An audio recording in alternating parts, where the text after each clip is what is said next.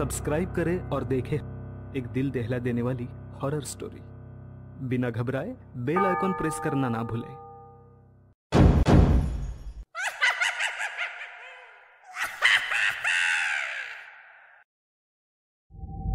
इस कहानी के लेखक हैं संजय कामले।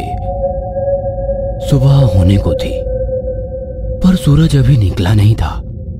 ट्रक की ड्राइविंग सीट पर बेहोशी की हालत में पड़े। सखाराम को थोड़ा होश आया। मतलब किसी ने मुँह पर पानी मारकर जैसे उसे उठाया था। उसका ट्रक सड़क छोड़कर एक वीरान से घास के मैदान पर खड़ा था। वह ट्रक से नीचे उतरकर हैरान परेशान होकर चारों ओर देखने लगा।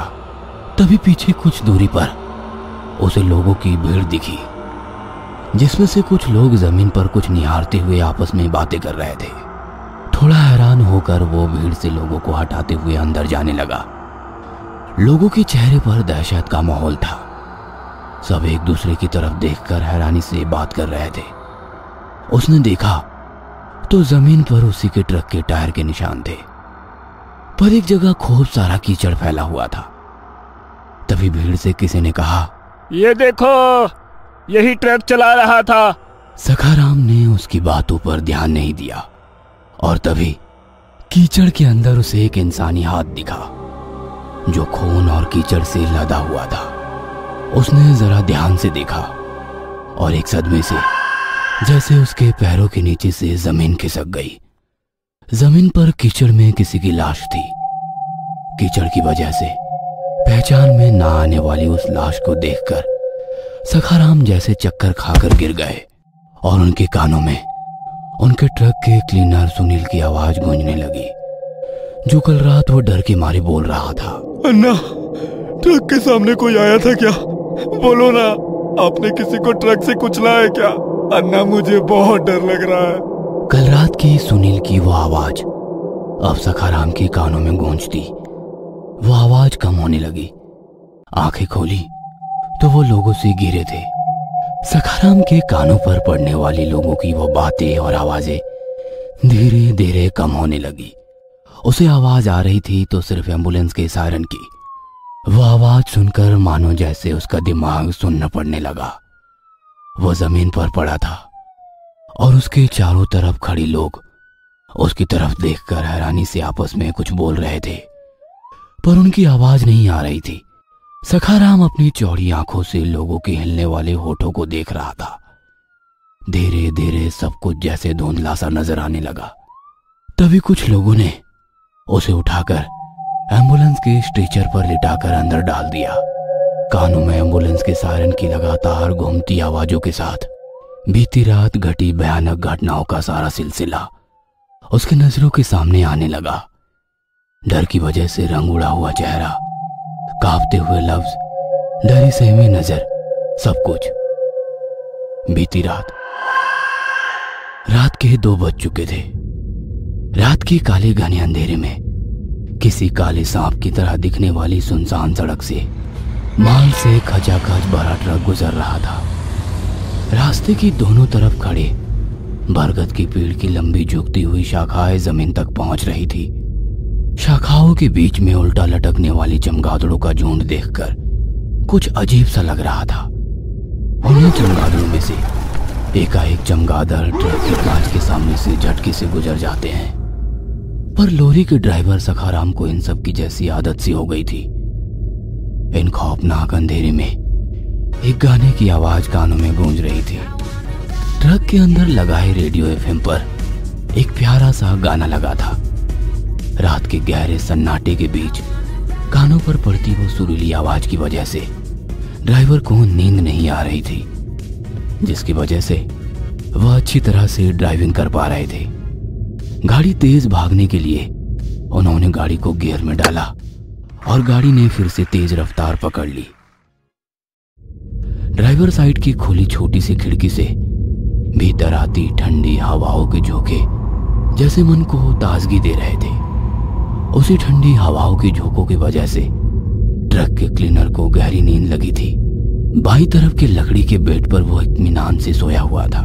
सड़क पूरी तरह से सुनसान होने के कारण अब ट्रक ने सत्तर पचहत्तर का स्पीड पार कर लिया था। क्योंकि कल दशहरा था। सुबह गाड़ी में लदा सामान खाली करने के बाद गाड़ी सीधे रमेश के सर्विस सेंटर पर ले जाकर गाड़ी को अच्छी तरह से सर्विसिंग करके सीधे घर की ओर ले जाकर नहा धोआ कर नए कपड़े पहन के, गाड़ी की पूजा करके, सिर पर कोल्हापुरी फेटा बांधकर, गाड़ी को नारियल चढ़ा के, मुँह में बनारसी पान चबाते गाँव में घूमकर लोगों से मिलने की उसकी योजना थी। कुछ दिन पहले उसकी बेटी की शादी हुई थी। कल बेटी और दामाद दोनों दशहरे का त्योहार मनाने आने वाले थे। सखाराम महाराष्ट्र के कोल्हापुर का पहलवान बंदा मतलब उन्हें बचपन से ही पहलवानी का शौक था। छह फीट की हाइट, काले घुमावदार मूछे और बड़ी हुई दाढ़ी, जिसकी वजह से उनमें एक अलग ही छाप थी। बदन पर हमेशा सफ़ेद कपड़े पर ड्राइविंग करते वक्त शर्ट हमेशा किसी कोने में रखी दिखाई देती थी। मुँह में हमेशा बनारसी पान की लाली, अभी भी उनके मुँह में बनारस का पानी था। अपने ट्रक की खुली खिड़की से पान की पिचकारी बाहर मारते हुए उन्होंने ट्रक के केबिन के अंदर आराम से सोए हुए सुनील की तरफ़ देखते हुए कहा ए सुनील जब देखो दिन रात सोता रहता है उठ जा। अरे मुझे बहुत बोर लग रहा है। कहाँ सोया हूँ? सिर्फ़ आँखें बंद करके लेटा हुआ हूँ। आपकी सुरीली आवाज़ और साथ ही रेडियो में चलते गानों की वजह से कभी नींद आई है क्या? क्यों बे? मेरी आवाज़ की तारीफ़ कर रहा है या ताने दे रहा है? ताना और आपको मेरी इतनी औकात? मैं तो बस सच्चाई बता रहा था कि आपकी आवाज़ जैसी पूरी रेडियो पर किसी की नहीं। अपनी तारीफ़ सुनकर सखाराम के चेहरे पर एक अजीब सी चमक आई। पर सुनील का सर उनकी बद्दी आवाज़ से फटा जा रहा था। आवाज़ बंद करने के लिए सुनील ने दोबारा से एक पान बनाया और सखाराम को दे दिया। खुश होते हुए सखाराम बोले यार तू तो मेरा इतना ख्याल रखता है ना जितना मेरी घरवाली भी मेरा ख्याल नहीं रखती। और सखाराम ने वह पान अपने मुँह में डाल दिया। अब सिर्फ़ गानों की हल्की सी आवाज़ सुनील की कानों में गूंज रही थी। ट्रक की एक तरफ़ के कांच के पास बैठे सुनील की नज़रें काले अंधेरे को चिरती हेडलाइट की रोशनी में गड़ी थी। सड़क की दोनों तरफ़ दिखने वाली घनी झाड़ियाँ अब कुछ कम होती हुई दिखाई देने लगी। कुछ ही देर में उनका ट्रक एक वीरान सी जगह से गुजरने लगा। सड़क कच्ची होने के कारण ट्रक के पहियों से उठने वाला धूल का बादल हवा में एक लकीर सा बना रहा था। सड़क काफ़ी कच्ची होने के कारण ट्रक का स्पीड भी काफ़ी कम था। सड़क के दोनों तरफ़ दूर दूर तक हरी घास का मैदान नज़र आ रहा था। चारों ओर फैली रात के घने काले अंधेरे को चीरते हुए गाड़ी के हेडलाइट में दिखाई देने वाला वो लंबा दूर दूर तक फैला घास का मैदान खत्म होने का नाम ही नहीं ले रहा था। कहीं भी इंसानों की बस्ती नज़र नहीं आ रही थी। और ना ही कोई और रोशनी दिखाई दे रही थी। दोनों बातों में खो गए थे। हँसते, खिलखिलाते, मज़ाक मस्ती करते हुए। दोनों का सफ़र अच्छे से कट रहा था। आने वाली अनहोनी से दोनों पूरी तरह से अनजान थे। सखाराम की नज़रें लोरी के कांच से बाहर ही थी। और सुनील अपने रेडियो की फ्रीक्वेंसी सेट करने में लगा था।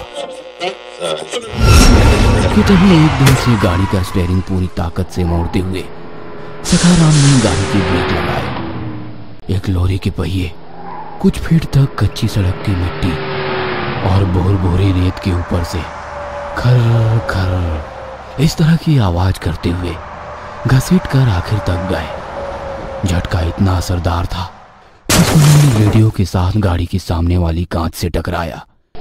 पर कांच टूटा नहीं। एक ज़ोर की आवाज़ के साथ ट्रक एक जगह रुक गया। ट्रक का इंजन अभी भी शुरू था। घर घर आवाज़ करते हुए ट्रक का इंजन लगातार वाइब्रेट कर रहा था। सुनील ने खुद को संभालते हुए सकाराम की तरफ़ देखा। डर के मारे उनका चेहरा सफ़ेद पड़ चुका था।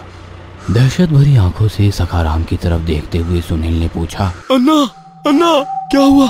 नींद आ रही है क्या? या आपने किसी को ठोक दिया? डर के कारण सखाराम के दिल की धड़कन तेज हो गई थी।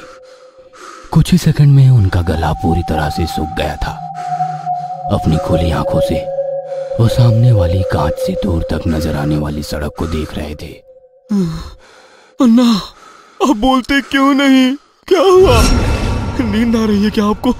अगर नींद आ रही है तो कुछ देर आराम कर लीजिए। दोबारा सुनील ने उनकी तरफ़ देखते हुए कहा सुनील की आवाज़ सुनकर सखाराम एकदम से होश में आ गए। कांपती हुई आवाज़ में सखाराम ने कहा नींद नहीं आ रही लेकिन शायद हमने किसी को ठोक दिया है। ठोक दिया? तो ट्रक क्यों रोका? जल्दी शुरू करो और भागो यहाँ से। अगर पकड़े गए तो मुसीबत होगी। नहीं अगर वो इंसान ज़िंदा होगा तो। कहते हुए ट्रक के सामने वाली हेडलाइट वैसे ही शुरू रखकर सखाराम नीचे उतरे। सुनील भी दूसरी तरफ़ से नीचे उतर गया। दोनों ही एक के बाद एक ट्रक के पहिए देखने शुरू कर दिए। कच्ची सड़क होने के कारण धूल मिट्टी का एक गुब्बार उनके ट्रक के आसपास तैयार हो गया, जिसके कारण कुछ भी साफ़ साफ़ नज़र नहीं आ रहा था। मोबाइल का टॉर्च ऑन करते हुए दोनों ट्रक के पहियों को देखने लगे, पर कुछ भी नहीं था। ना किसी का खून, ना वैसा कोई निशान नज़र आ रहा था। ट्रक के पहिए पूरी तरह से सूखे थे। इसका मतलब कोई हादसा नहीं हुआ था। अन्ना शायद आपको नींद आ रही है। ज़रूर कुछ वहम हुआ है आपको। कुछ देर आराम कर लीजिए। सुनील की बातें सुनकर सखाराम चुपचाप खड़ा रहा। उसने साफ़ साफ़ किसी को ट्रक के सामने से दौड़ते हुए जाते देखा था। एक सफ़ेद आकृति इंसान जैसे दिखने वाली पलक झपकते ही ट्रक के सामने से गुजरी। सखाराम के दिमाग में एक ही बात लगातार घूम रही थी। आखिर वो क्या था?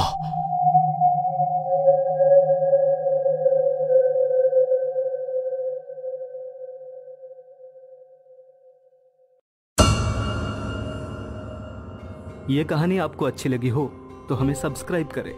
हमारा इंस्टाग्राम और फेसबुक पेज ज़रूर फॉलो करें। अगर आपके पास ऐसी ही कोई कहानी हो तो हमें कमेंट बॉक्स में भेजें। हम कोशिश करेंगे कि अगली एनिमेटेड स्टोरी आपकी होगी।